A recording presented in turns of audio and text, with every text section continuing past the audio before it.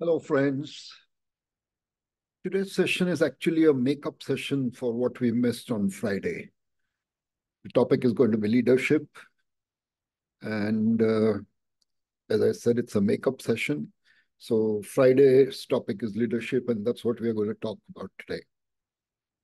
Uh, today, we are going to talk about what makes a leader and what are the qualities that make one and especially what are the qualities that make one an outstanding leader.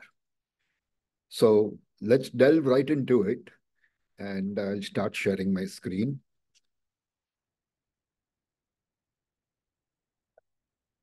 Okay, so as I said, today's topic is what makes a leader. I think we know what are the qualities that a leader should possess. And one is intelligence, undoubtedly. He should be tough. He has to face many, many situations, all of which are not very easy. He has to be determined. A leader who is not determined will delete that. And that's not going to take the team or the group or the company anywhere. He should be a great organizer. That's one task, which is maybe mundane for a leader, maybe way, way below his pay grade, but he still needs to be a good organizer because only then can he set up a team that will be efficient at organizing. He should be a visionary. This is very, very important because a leader has to be able to see what is coming ahead, what is expected to be coming ahead, and therefore has to start preparing his team his company, his business for going through that. So, but these are traditionally defined qualities associated with leadership. But is this really enough? No, I don't think so. And while these are essential qualities, they are, according to me, insufficient for a leader especially for someone who wants to be an outstanding leader. So cultivating a humane and more personal qualities will make you a better leader. And what do we mean by this? That's what we are going to look at over the next 15 minutes or so. And that's what is the really the essence of today's talk. So for outstanding leadership, which is what we are talking of, run of the mill leaders are there all over the place, but they don't create magic for the. What we are talking of is finding a leader who's going to create magic for the company. So for outstanding leadership, there's one key quality which of course has many, many facets to it. But there's one key outstanding quality that is an essential, and that is emotional intelligence.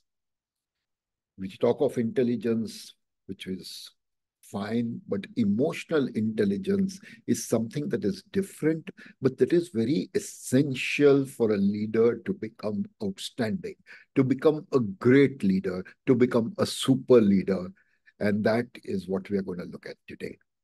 So truly effective and outstanding leaders, they may have great training, they may have a very incisive mind, very sharp in what they're thinking.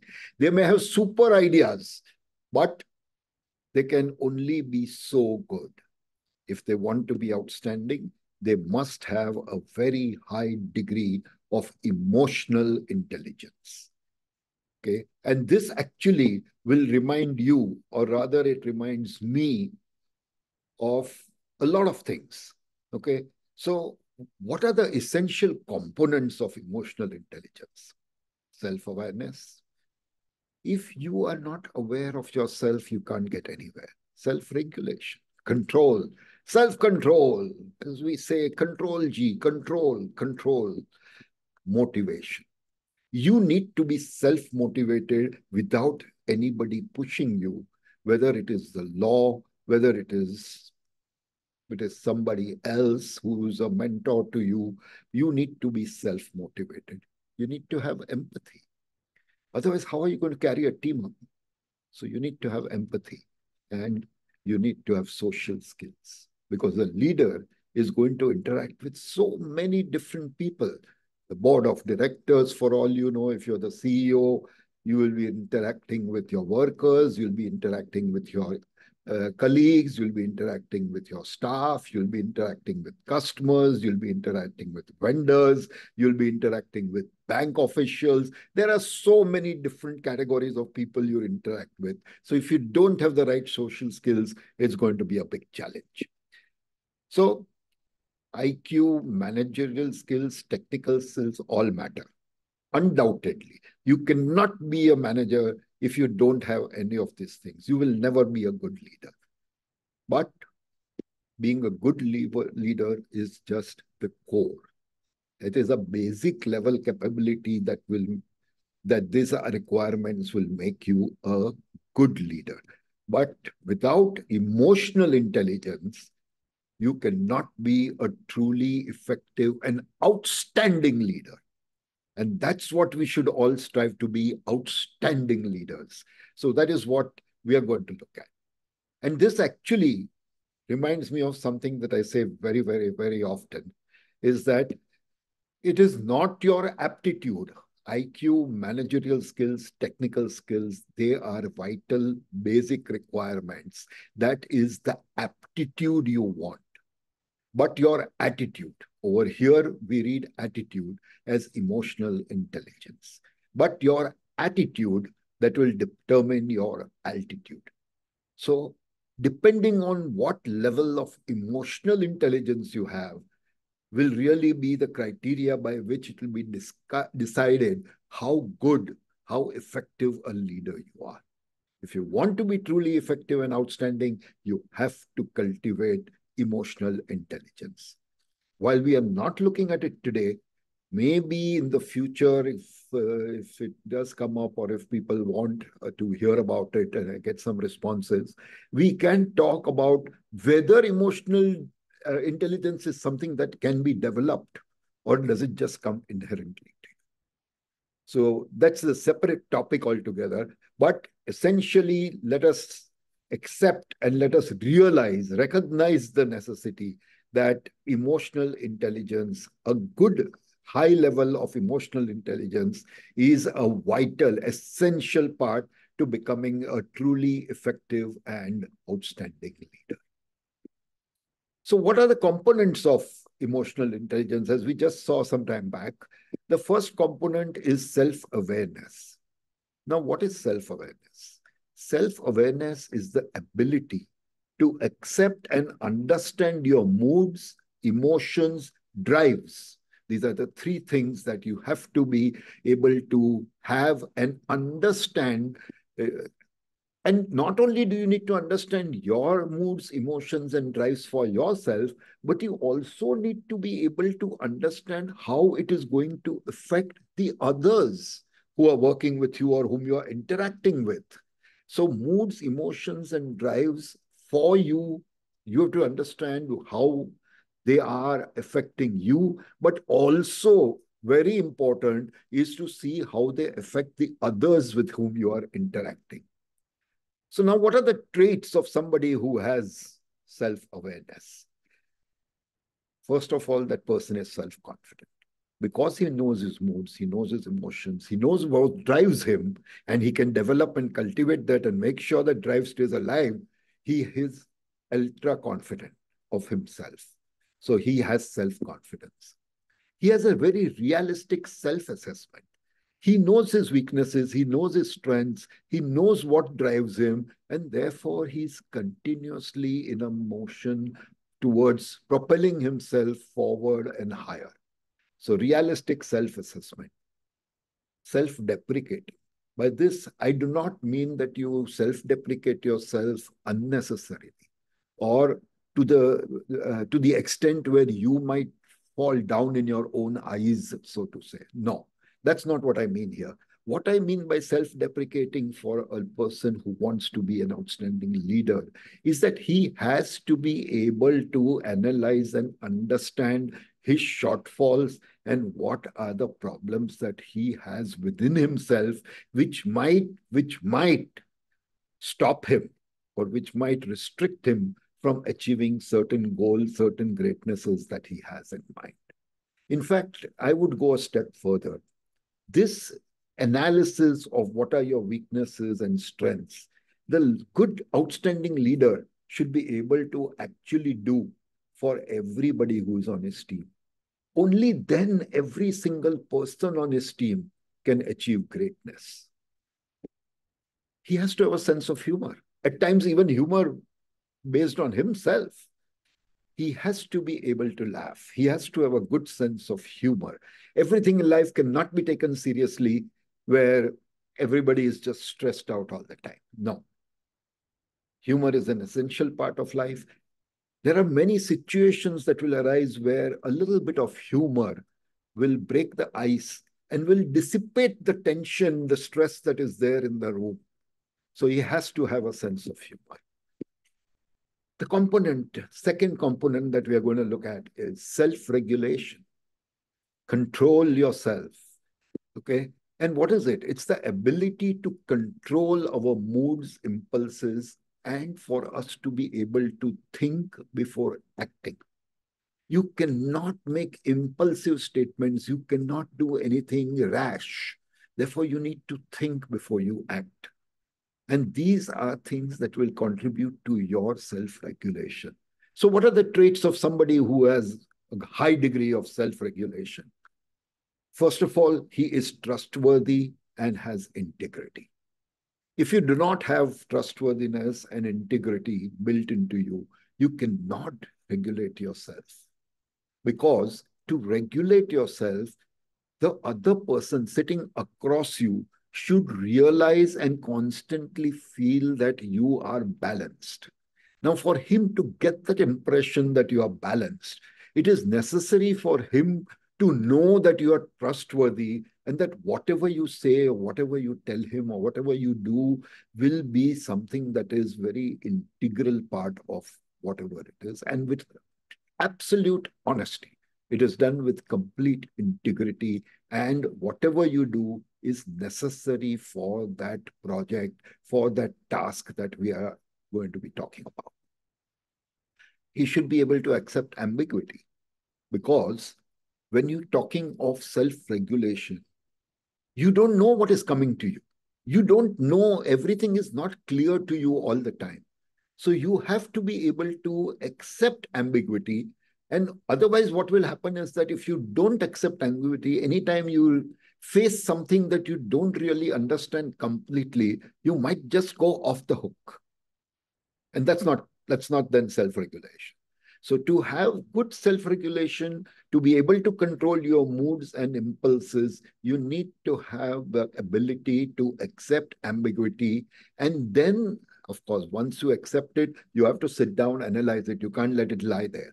So you have to have the ability to accept the ambiguity, then sit down, think about it, analyze it, figure out why and what is that whole ambiguous situation about, and then take action. So basically, think before acting. You have to be open to change because your moods and impulses might be to do something. But then while discussing with people, you will be able to, or you will definitely get feedback which is contrary to what you believe is the best thing to do. So, in such a situation, if you don't go in with an open mind and if you are not open to change, you probably could be taking the wrong decision and leading the whole team and the company in the wrong direction. And you need to be analytical because not only to check situations which are ambiguous or various other things, or to think before acting. You need to be analytical because that is a core requirement for self-regulation. You need to be able to analyze anything and everything that comes your way with a cool mind, with a sober mind, and then take a step forward okay, after making sure that the analysis is something that is in the right direction. Component number three, as I said earlier, we have five components. That's what we are going to look at today. Component number three is motivation.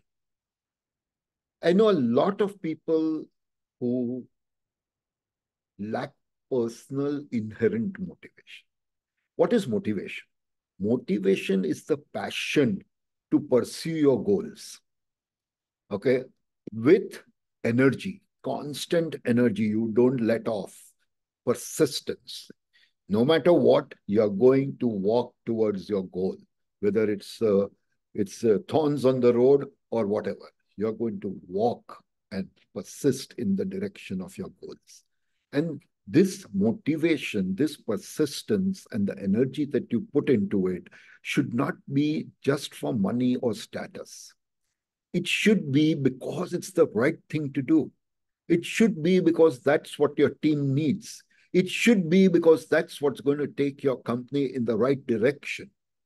So, motivation is pursuing your goals with energy, persistence, with reasons beyond money and status. That is important. A lot of times you find that people do something only because they're getting enough money.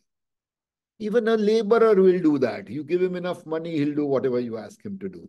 But we are talking of leaders. We are talking of leaders who are going to make a difference in the world, who are truly outstanding leaders. Okay. And for them, everything is not about money and status. It is about doing the right thing. It is about making sure that you are leading your team, your company, or whatever group you're leading in the right direction. So, what are the traits of somebody who is uh, motivated and has very high level of motivation? The first of thing is that he has to have a very strong drive. He has to be wanting and consistently pursuing his persistence again, or whatever he has to be very optimistic. I mean, he cannot say that, oh, this is not going to happen and stop.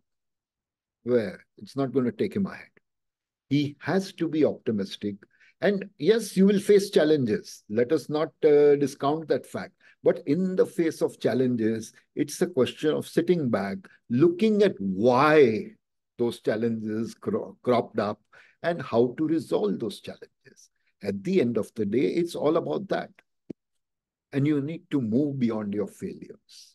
It's not only challenges that come your way, but you'll make mistakes. There may be things that happen which are beyond your control and which were not possible for you to visualize earlier.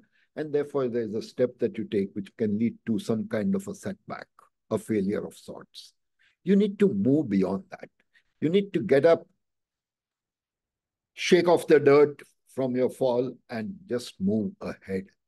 You need to, yes, don't just move ahead forgetting about the incident. You will, don't let that incident dwell on your mind, but make sure that you learn enough from the incident not to make that mistake happen again. That is essential. If you fall, there's nothing lost. If you get up and move ahead, great. But when you fall and get up and move ahead, and with that, you take lessons from that fall. That's what makes you truly great. So move beyond your failures. You have to have organizational prowess. And these are things that we need very, very critically at times because sometimes you won't have the time to sit and plan out an organizational uh, system that you need. You might have to think just on your feet at that time. And therefore, that organizational prowess, that capability to organize things wonderfully and fast is very important. Component number four is empathy. Empathy is the ability and you need to be capable of understanding the needs and emotional state of others. So you need to have that ability to understand the needs and the emotional state of others who are working with you. Because if you are not sensitive to that, if you do not understand that, it could lead to challenges of trust, challenges of respect between you and the other person. And you have to be capable of treating them according to the situation. Somebody might be going through a phase. Let's just say. And he's in a wrecked up emotional situation. Now, at that time, if you don't treat them the way they should be treated, considering the kind of emotional stress or emotional state they are in, you need to be able to handle them with, well, not always kids' glove, but in the right way.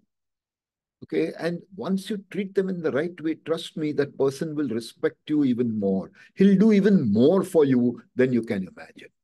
So, what are the traits of somebody who has good empathy? The first thing is that they have an expertise in building and maintaining relationships. Without empathy, maintaining a relationship is very, very difficult.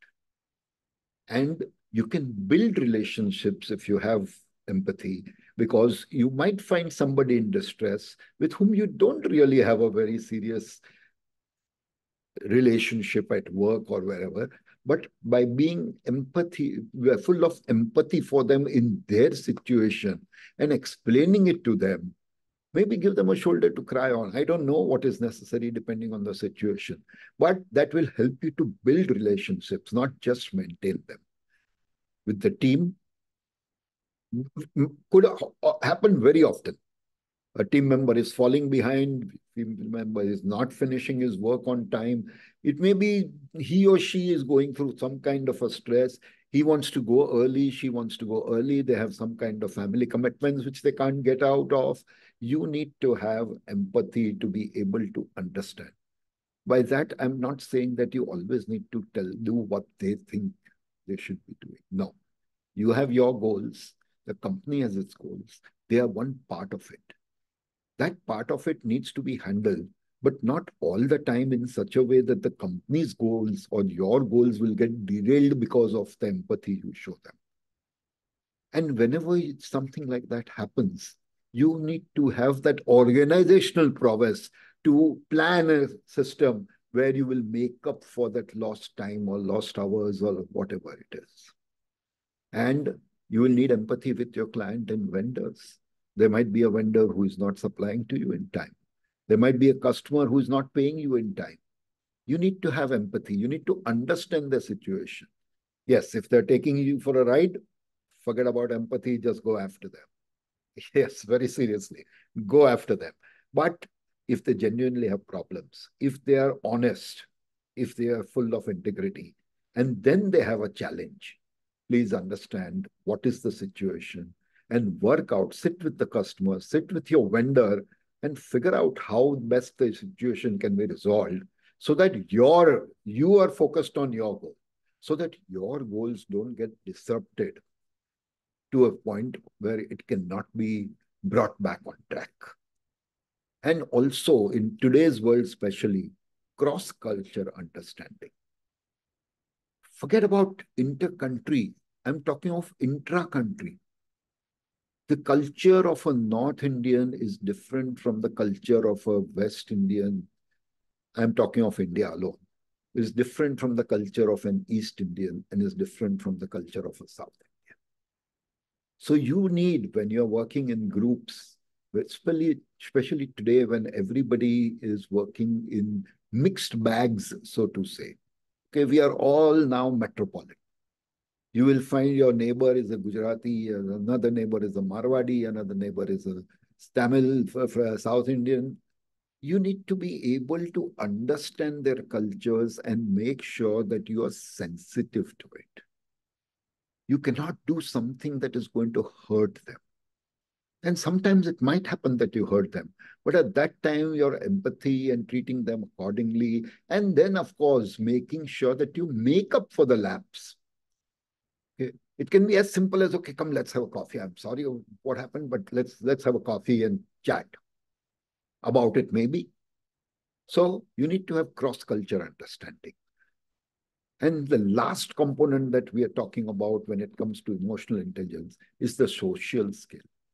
As I said earlier, when we were talking about the five components, you are going to have to interact with a variety of people, right from the board of directors to the lowest, the people who are just helping you to keep your factory clean and neat and tidy. Okay. And outsiders, there will be vendors, there will be bank people, customs people, depending on the kind of business you are in. So you need to be able to build and manage relationships and also build networks because those networks are what helps you when you when you're looking for something to be done which is out of the way. You may not know about it. Okay. But that time, if you have a good network, talk to your network and you'll find some solution. You'll find the right contact you need to get that task done. So what are the traits of somebody who has great social skill? They are excellent at building rapport. And that's how networks grow. So they are excellent at building rapport. They're very persuasive. They can convince you or convince anybody in the right manner, with the right words, with the right logic on what is wrong and how to resolve it. They need to be team builders. No leader can be successful if he doesn't have a good team. So if you want to be an outstanding leader, you have to have an outstanding team. And therefore, one of the essential things is social where you make sure that you build a great team. I hope this has helped. I hope you enjoyed uh, listening to it. If you have any questions, please do write.